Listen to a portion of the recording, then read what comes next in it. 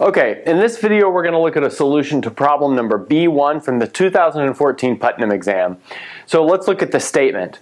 So a base 10 over expansion of a natural number n is a sum given by dk times 10 to the k plus dk minus 1 times 10 to the k minus 1 all the way down to d0 times 10 to the 0 where dk is not equal to 0, so that highest term is not equal to 0. And all of these di's run from uh, 0 up to 10. So notice if we had stopped at 9 here, that would have been a normal base 10 um, expansion, not an over expansion. In other words, that's just uh, the way of looking at a number with a tens place and a hundreds place and a thousands place and so on and so forth. But this is a bit of a play on that where we allow 10 in one of those place values. And the question we want to answer here is when does n have a unique overexpansion? And so let's like look at some examples when it does not have a unique overexpansion first. And notice that 10 can be written in two ways. So it can be written as 10 times 10 to the 0. So that is not allowed as a standard base 10 expansion, but it is allowed as one of these over expansions. And then another way we could write it would be 1 times 10 to the 1 plus 0 times 10 to the 0. So that would be your standard base 10 expansion. So now let's look at another one, maybe uh, 2057. And so notice the standard base 10 expansion of this would be 2 times 10 cubed plus uh, 0 times 10 squared plus 5 times 10 plus 7 times 10 to the 0. Okay, great. But now notice we can change that to a base 10 over expansion of this same number by taking one of these uh, places in the thousands place and moving it down to 10 hundreds places. So in other words, we can write this as 1 10 uh, cubed plus 10 times 10 squared plus 5 times 10 to the first plus 7 times 10 to the 0. So we can move into this 0 spot right here. And so now, um, looking at these two examples, it looks like the thing that's allowing us to have more than one base 10 over expansion is this 0 as part of um, the standard way of writing the number, and that's exactly the case. And it turns out if you do not have a zero there, it's impossible to have anything but a unique base 10 over expansion, and that would be the standard base 10 expansion. And so uh, I'll clean up the board and then we'll look at the proof of that claim. Okay, so here's our claim which will solve this problem. So we're going to claim that n has a unique base 10 over expansion if and only if its normal base 10 expansion has no zeros. And so uh, we're going to do this forward direction first, but we're going to do this forward direction using the contrapositive, and this is actually going to be motivated by these examples that we just looked at.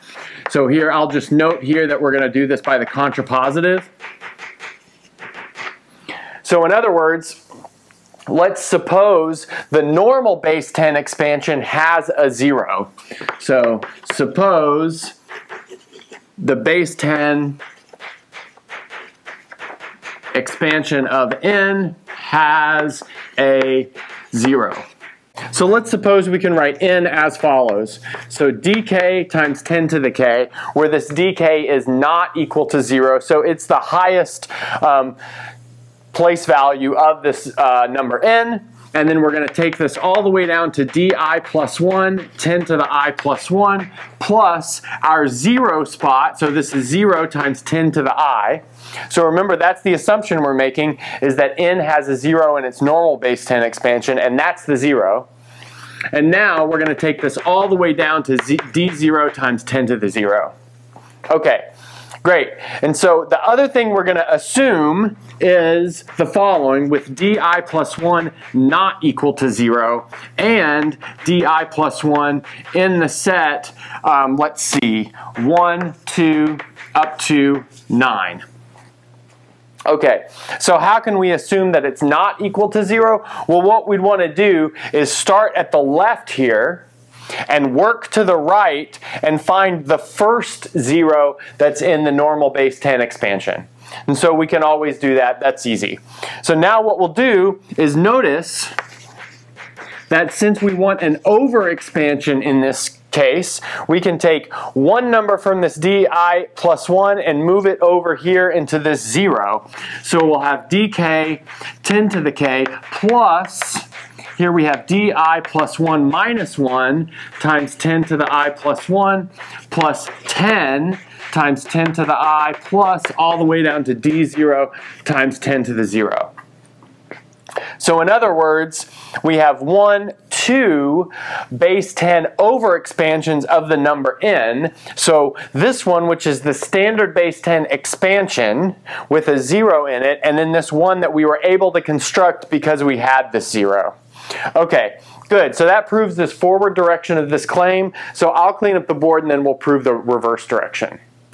Okay, so now we're going to prove the reverse direction and we're going to do, do that by induction on the number of digits of n. So induction on number of digits of n. And I'll just say our base case, which is n equals 1, 2, up to 9, is clear. We don't really have to do anything for that. Um, it's clear that there is not more than one base 10 over expansion of this um, of these cases because all you have is a ones place. And so there's nowhere to move lower than a ones place to use that number 10. So our induction hypothesis will be as follows. So we'll suppose for k bigger than or equal to 0, and um, n hat uh, with no zeros in normal base 10 expansion,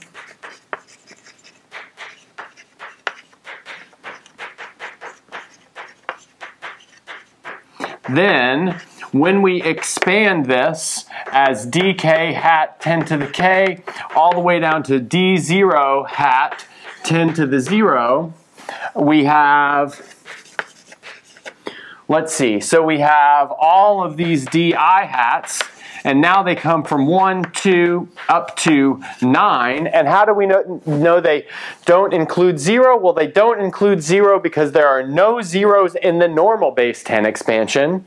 And how do we know that they do not include 10? Well, that's because the normal base 10 ex expansion is the unique base 10 over expansion by our induction hypothesis. So here we'll say these are unique.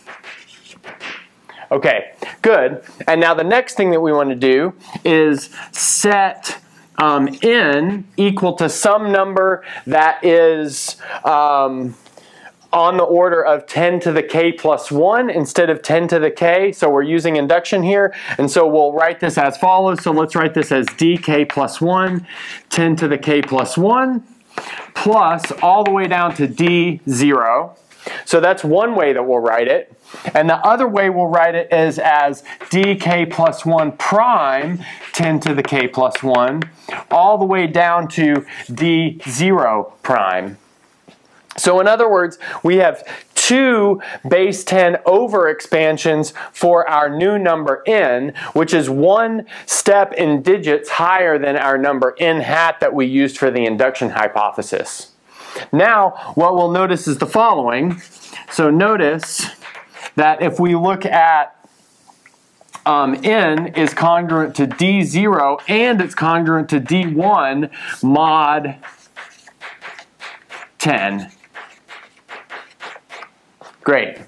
And now what that tells us is that D0 has to equal D1. And now there's actually a little bit of work here, and so why is that the case? Because D0 and D1 could be congruent to one or sorry, congruent to each other mod 10 if one was 10 and one was 0. But we know that one is not 0 because we know that the normal base 10 expansion of n does not include any zeros. So let's notice here there are uh, no zeros in the the di or the di hat are never 0. which means these have to be equal to each other because that's the only way that they could be unequal but congruent mod 10. Okay, so now from here what I'm going to do is clean up the board because we're running out of room and then we'll finish off this solution. Okay, so let's see where we are so far. So we have two over expansions of n, and so we have dk plus 1, 10 to the k plus 1, all the way down to d0. Then we have dk plus 1 prime, 10 to the k plus 1 all the way down to d0 prime. And previously, we argued that d0 was equal to d0 prime by looking mod 10.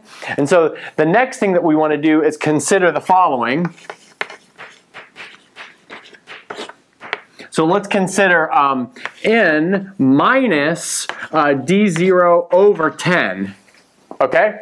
Good. So now on the one hand, that's going to be dk plus 1, 10 to the k plus 1, all the way down to d1.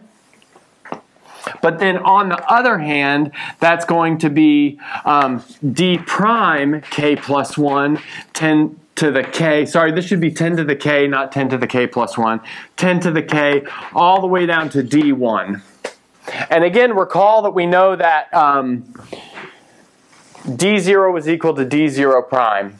So notice we've got dk plus 1 prime, 10 to the k plus 10 to the k plus all the way down to d1 prime is the same thing as dk plus 1, 10 to the k all the way down to d1. But then by the induction hypothesis, since this is in the degree that is lower than the one that we're looking at right now, we know that d1 equals d1 prime all the way up to dk plus 1 equals dk plus 1 prime, which finishes the argument.